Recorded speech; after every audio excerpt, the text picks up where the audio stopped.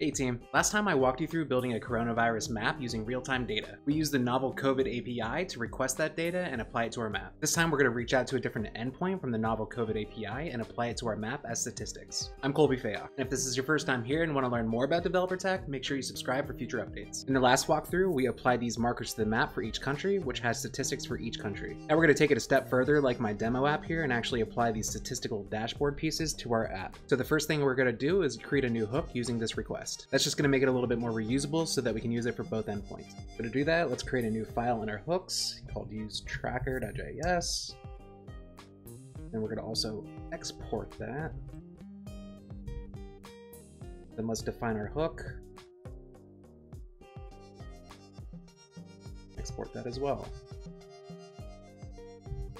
The first thing we're going to add is a few constant variables and also our imports. So we're going to import use effect, use a state, which we're going to use, as well as our Axios request library. We're setting an API host, which is that endpoint. Then a few endpoints, which we have all, which is what we're going to use today, and countries, which we're already using. Lastly, we have default state, which is basically just going to define the default data and the ready state of the request. Next, let's actually set up some state. So we're going to have our tracker state with the default object and an update tracker to be able to update our state. Next, we're going to add a new function. It's called fetch tracker. What this is going to let us do is we're going to find a route given the argument we'll set up in a second. If it doesn't find that route, we're going to default to one that we set above. We're going to try to actually make that request, but set a loading state. If it fails, we're going to set an error state. And then finally, we're going to try to take the response if it's successful and update our state with that data. For our arguments, we want to set API and we're going to default to all, which is just our way of creating which endpoint we want to use from here. To actually make the request, we're going to use a use effect hook and trigger the fetch tracker request. And if the API changes, that means we can re-request that fetch hook. Finally, we're going to return both the fetch tracker function, that way we can trigger a manual update if we would like, and the tracker state, which includes our data.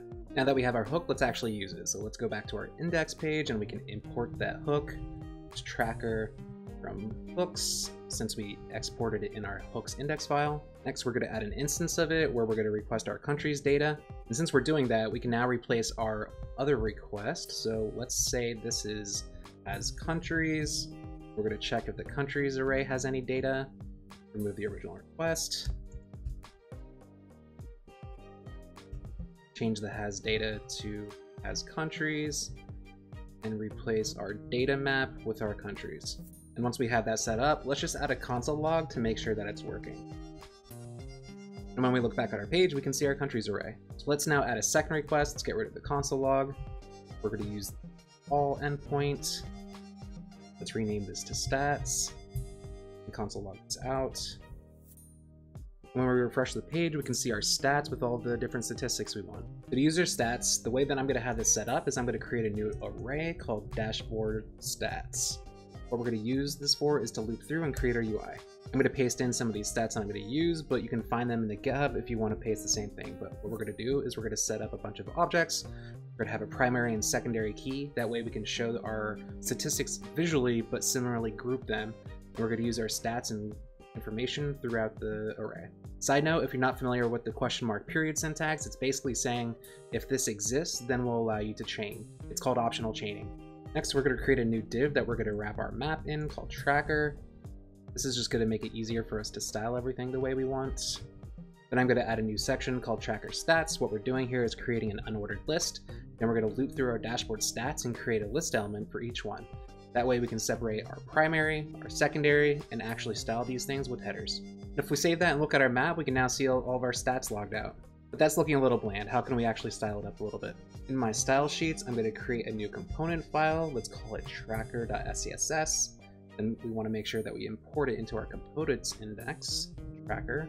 I'm going to paste in a few styles, that way we can set our different stats and our stat, our primary versus our secondary the way we want. And if we look back at our dashboard, it's looking definitely a little bit nicer. If you notice though, these numbers are not super human readable. I mean, we can probably make sense of what they are, but usually we see commas to make it a little easier to read. But to fix this, we're going to open up our util file and we're going to add a new function. We're going to call it commify. What we're basically going to do is take a value, turn it into a string. We're going to split it and reverse it. This just makes it easier for us to add the commas for every three places. And inside that, we have a reduce function, which we're going to actually add those commas to our strings.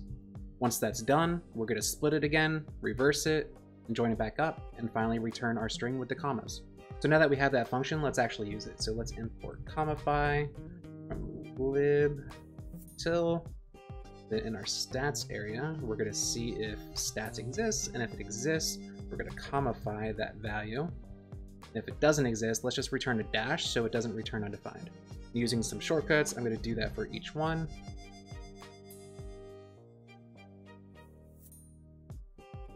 And if we save and reload the page, we can now see we have our commas.